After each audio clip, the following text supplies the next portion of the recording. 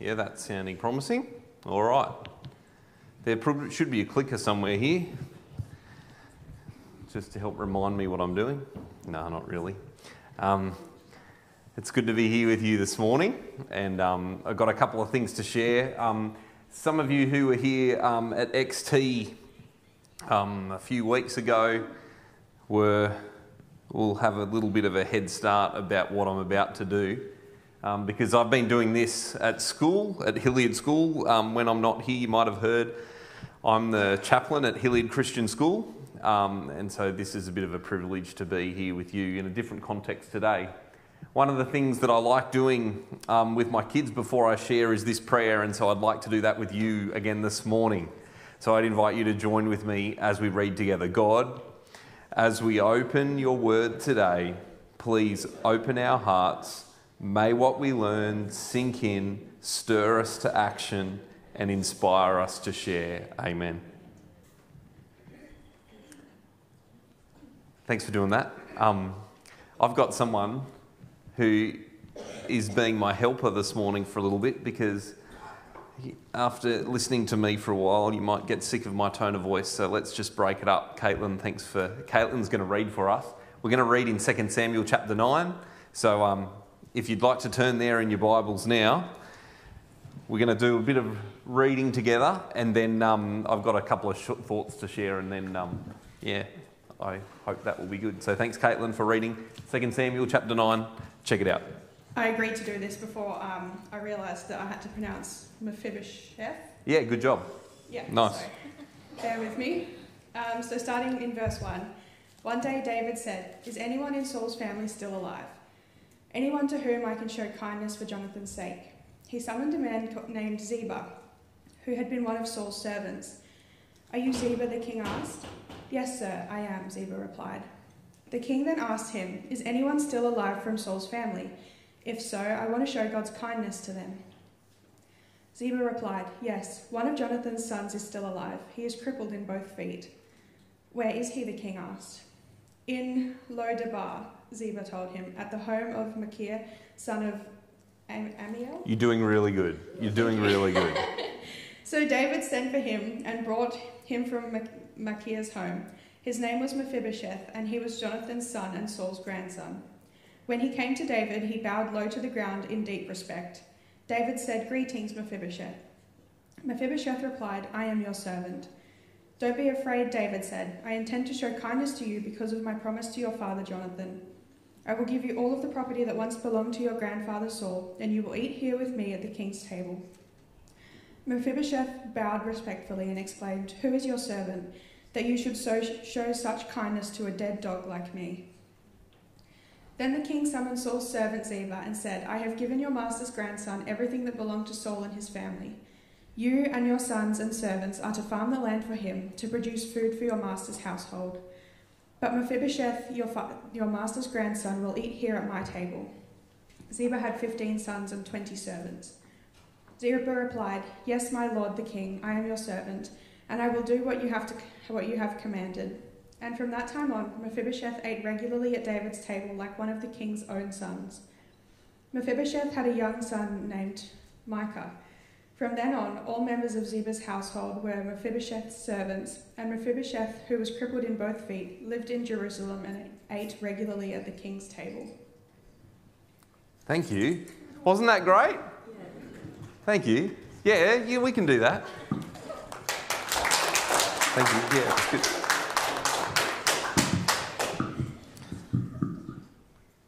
I'm so grateful for you, Caitlin. Thank you for, for reading that. For some of us, our physical appearance matters a lot. And what we portray to the outside world is very carefully considered. And if you look at some of the, the little young people, of which I'm not, the young little whippersnappers, they get involved in different platforms like Instagram or TikTok and that kind of thing, and they post photos of themselves. And they make sure that the photos that they post of themselves make themselves look really good. They kind of want to hide some of the things that you know you wouldn't want to see, both their physical appearance but also the life that they're living needs to look really good. And people even go to the to the point of of airbrushing their photos or photoshopping their photos. And sometimes you might have heard of a celebrity who's photoshopped their, their photo to make them look slimmer or something like that, and it just hasn't worked out, or it's really obvious that they've stuffed it up and they made a mockery of because they've tried to show themselves as something that they're not. They want to be more appealing. They don't want to lose followers or friends because if they show something and then it gets revealed that maybe that wasn't true, then they're likely to lose some followers or, or they, they're going to be dropped. They don't want to fall from grace. They don't want their identity to be challenged, or especially the identity that they've set up for themselves. When I think about doing this, I, I, I'm not highly engaged in some of these platforms. I have a feeling that no amount of airbrushing would help me out. Um, and some of us might feel a bit like that. But although that we do this airbrushing and we put these masks on, they might fool some of the people that we relate to and connect with. However, it doesn't, it doesn't fool God. And today I, I want to share a little analogy with you that's both encouraging and confronting. And I, throughout the Bible, God is often referred to as a light or as the light. And as I take this analogy on, I, I think about when we're far away from the light, it's easy for us to hide our flaws and inadequacies in the shadows. But then, as we edge closer to that light, that bright light of God, our flaws and inadequacies become unable to be hidden. The shadows start to disappear, and our flaws are shown in detail. And when that happens, when, when, when the things about us that we like to keep hidden become revealed as we get closer to that light, we end up in this situation that starts to feel confronting. And before I go any further, I want to take us to another Bible passage. I invite you to go to back to your Bibles. We're going to go to Romans chapter 8. Romans chapter 8.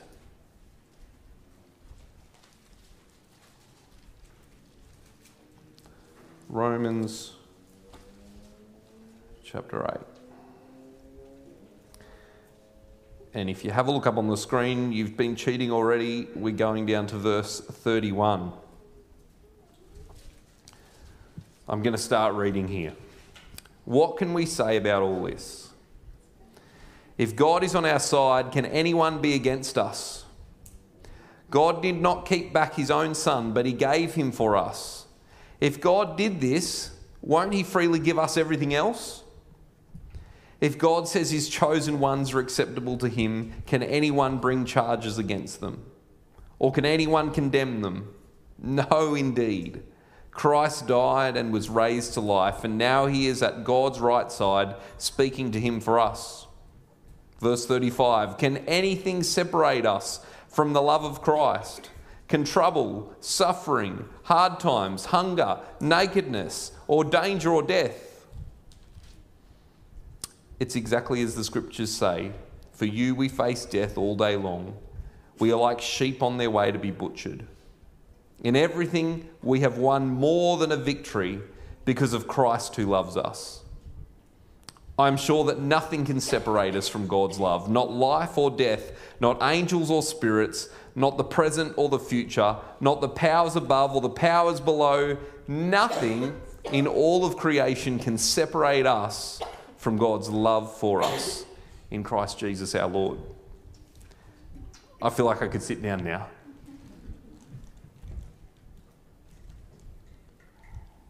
As we read through this, one of the things that I, I notice when I read this passage is the flaws and inadequacies that we have, that, we, that we've just read about, that Jesus' love overcomes, they come in two forms there's external and internal flaws. Our internal ones are kind of like our character flaws, the things that, that, we, that we do that undermine our relationships with others and with God. And then there's also some external things, things that damage us or impact us. Many of these things we don't even have control over. Sometimes it's the families that we've been born into that wound us. Sometimes it's traumas that change us. Sometimes it's our genetics. In that little passage that we read, in verses 33 and 34, it speaks to our internal flaws and inadequacies, but the rest of the passage is speaking about external things. But it goes on to say that there is nothing, despite these internal and external things, there's nothing greater, more overwhelming, or all consuming than God's love for us. And as our relationship deepens, we draw nearer to that light. And as we draw nearer to that light, layer upon layer gets peeled back things that we didn't even know were a flaw of ours, when we get closer to Jesus, they become evident. And every time our flaws become more evident, God's love deepens because it covers all of that. The seriousness of our predicament becomes more real than we possibly dared think. But God's love is bigger than we could have ever possibly imagined. Nothing that we could do will mean that God will drop us. You know, we, we all have um, some skeletons in our closet, some things that we'd like to keep hidden, things that if other people knew about us, would kind of take the shine off us. Sometimes these skeletons in our closet are simply by association.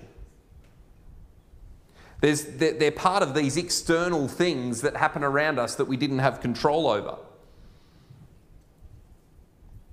My, my family know another family, parents and lovely kids.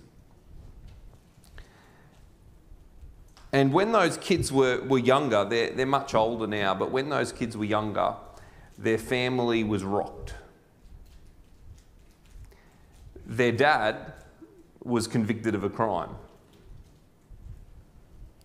He'd had an inappropriate relationship with a young boy. And rightly, I would suggest, he was sent to prison for abusing this man when he was a boy. And in our society, this kind of crime is considered the worst or pretty much equal to the worst thing an adult can do. He lost the majority of his friends. But not only that, his wife and young children also lost their connections as well. They were ostracized from the church. The kids weren't even welcome anymore. These kids were experiencing something, they were experiencing rejection even though they'd done nothing wrong. Now, the dad regretted what he'd done. He pled guilty at the trial. He knew and accepted that he'd done the wrong thing and, and took the sentence that came with it. Sadly, this is not the whole story. Because you see, this dad he was abused by an older man when he was a boy, as is most often the case in these abuse situations. So, not only was this man a perpetrator, he was also a victim. He was let down and he was dropped and scarred for life. Sometimes these, there's things that cripple us independently of our choices. Mephibosheth, thank you, Caitlin, for reading again. Mephibosheth was the grandson of Israel's first king, Saul. He was the son of Jonathan, David's loyal and reliable friend. Now, during a war between the nations, Saul and his son Jonathan went out to fight and they were killed. Now, in ancient times, kingship followed the bloodline. The moment on the news we're hearing all about the America's election and we're all waiting for the next thing that's going to happen. And yes, there has been some dynasty kind of families that have followed the politi- political like line. Generally, that's not how it works. But in ancient times, it was the bloodline that was key. It was a royal bloodline. And so when these nations would fight one another, the overpowering nation would do everything in their power to try and wipe out everyone from the defeated royal bloodline. Because they wanted to make sure that there was no one who could like muster up support to create a coup to some come back and take the throne again. So these ancient kings would not try and wipe out the royal bloodline of the nations that they defeated. 2 Samuel chapter 4, we didn't read it, but it tells us that Mephibosheth was about five, year old, five years old when he was, became crippled. This story messes with my emotions because my son Reuben is five years old. And I ask you now to give me a little leeway as I try and paint this picture for you. I'd encourage you to pause and imagine this situation. Mephibosheth, he wakes up early in the morning. He looks around, he puts on his battle gear, he gets out his wooden sword, and he runs out to dad and he says, Dad, I'm ready. Dad says, Nah, you can't come. No, I'm ready. Please, will you let me come? Please. No, not this time. Mephibosheth gives his dad one more hug. And his dad walks off down the stairs dressed in his royal military armour. Mephibosheth runs up the stairs to look over the balcony and look down on the street. And down when he looks down, he can see his grandfather riding proudly on his horse with his dad riding just behind. And as they ride through the streets, the crowds are waving, but Mephibosheth is up the top on the balcony, waving furiously, trying to catch his father's eye one more time. He runs for as long as he can upon the city wall to just get that one last glimpse, one last connection with his dad. And he waves furiously as the army goes off and he loses sight of his dad in the dust. Finally, when the dust settles, he runs back inside and he runs to the nurse and he goes, Come on, let's battle! I've got my sword, let's battle each other!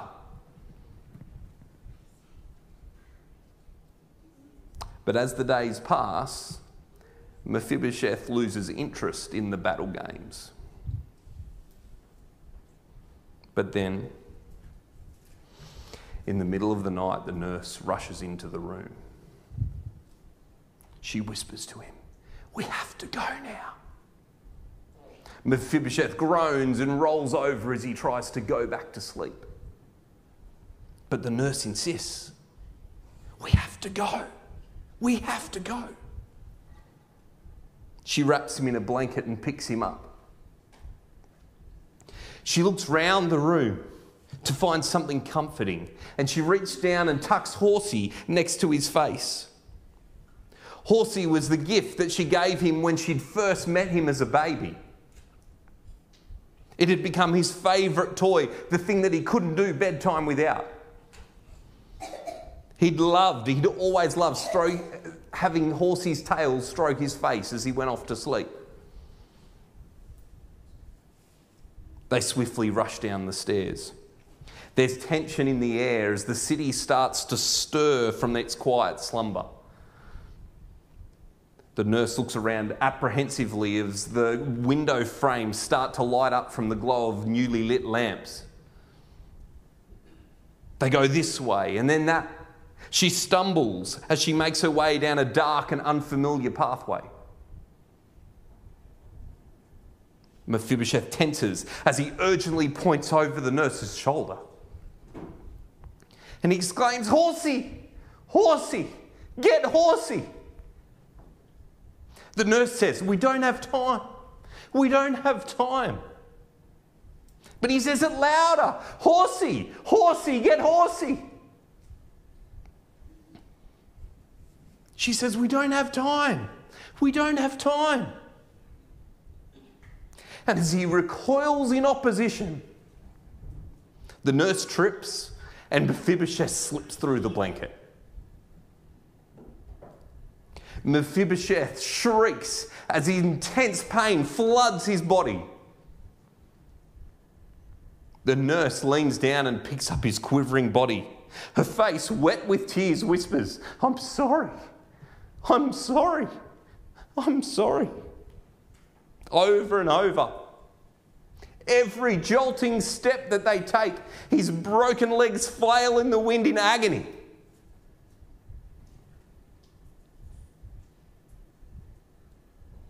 What did Mephibosheth do to deserve that?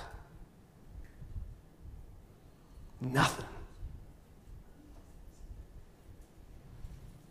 And all of this, all of this before he even knew that he'd never ever see his grandfather and father again.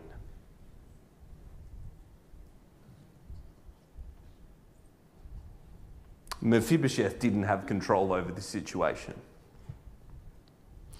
Circumstances around him completely changed his life's trajectory. The wounds of this night would stay with him for life.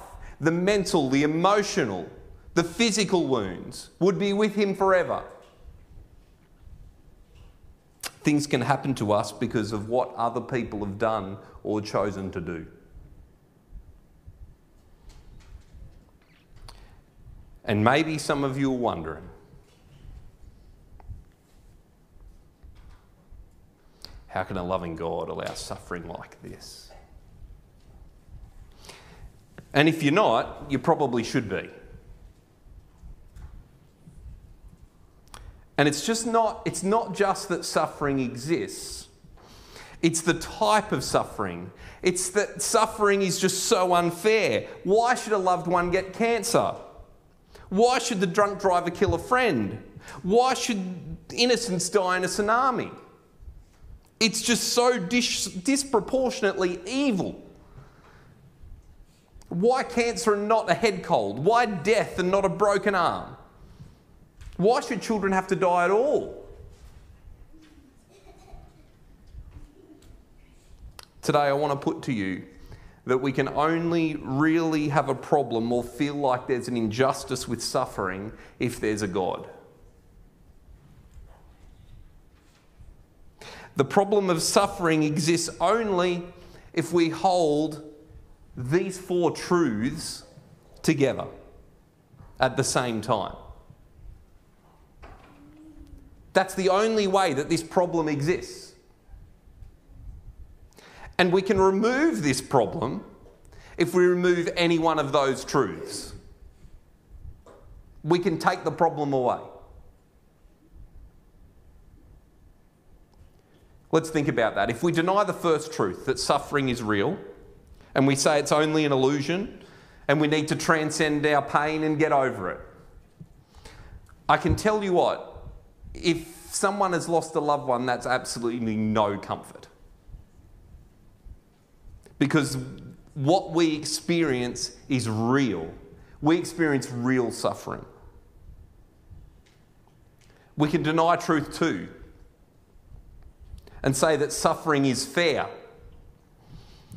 But this is cruel. How can a loved one deserve to die of cancer or a car accident? How can it be fair for insects to burrow into the eyes of children and make them blind? We can deny truth three and say that God is unloving, that God wills our suffering but doesn't care enough to remove it. But, but, but this, ro- this robs us. It robs us of personal agency, of love and mercy. And wh- why should we care about the sick and suffering at all if it's the will of God that they suffer? Or we could deny truth four and say that God's powerless. He watches us helplessly and can't help us. We have to help ourselves. That's why there is suffering. But the fact that we're so outraged at God tells us that there's a sense that we know that He can remove the suffering. Do you see how if we remove any one of those things, we actually end up in a worse place? The problem exists because suffering is real and unfair. And we sense there's a loving and powerful God who can and ought to do something about it. Our pain's real, not imagined. Our suffering's not just some social construct. The problem of suffering exists only because a loving and powerful God also exists. So, where do we go? Have I dug myself a big enough hole?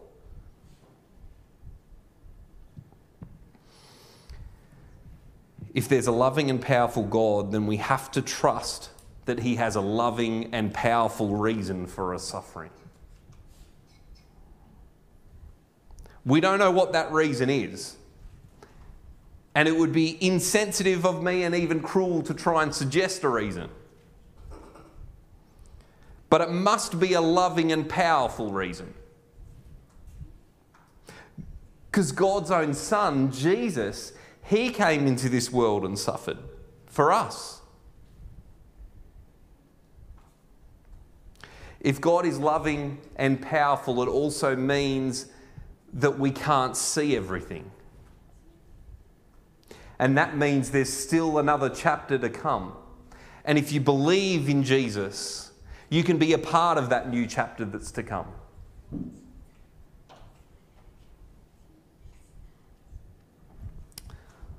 If my wife was here, I think she'd be telling me, land the plane, Ben. So let's do that.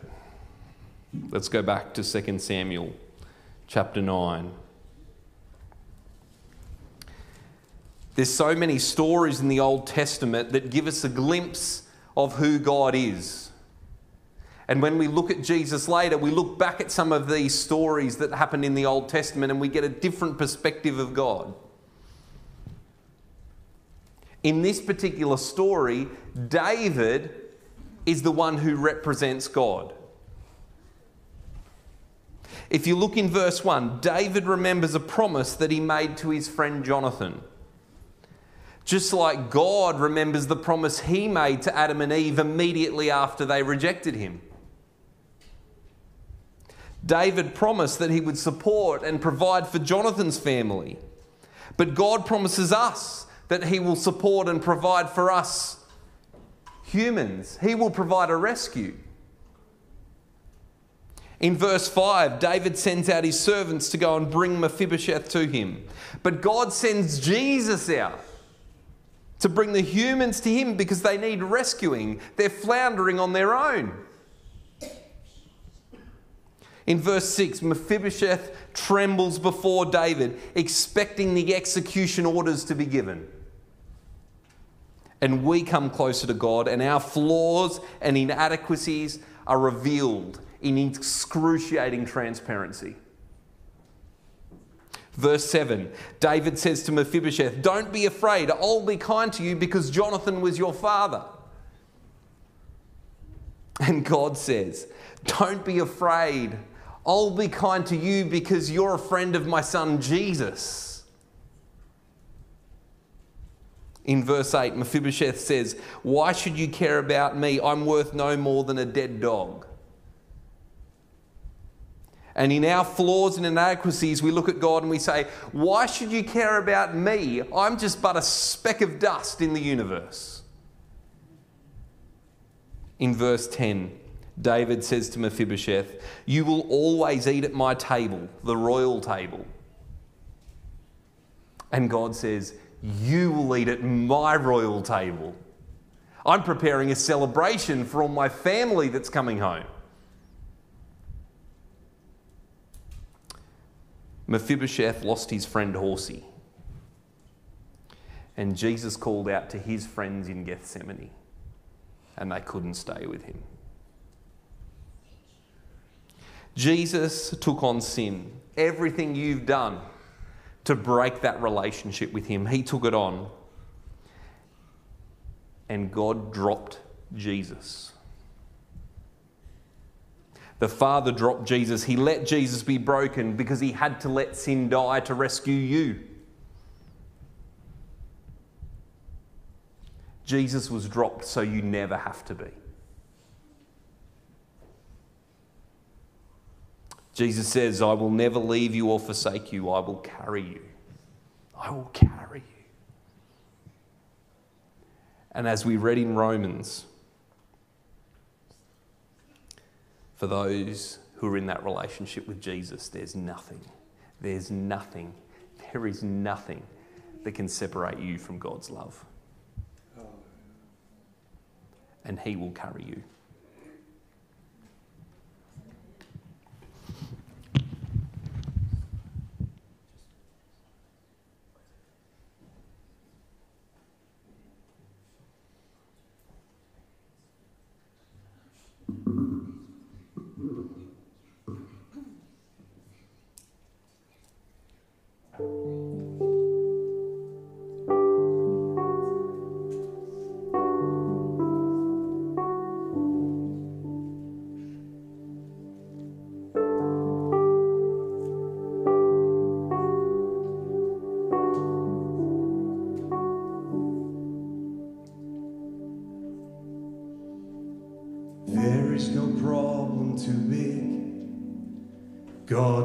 Solve it. There is no mountain too tall, He cannot move it. There is no storm too dark, God cannot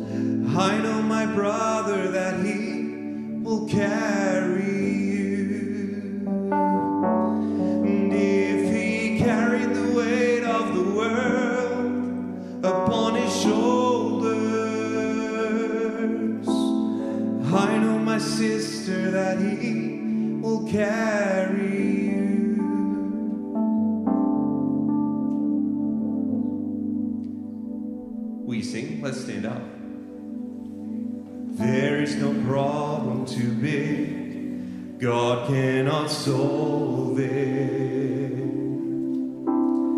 There is no mountain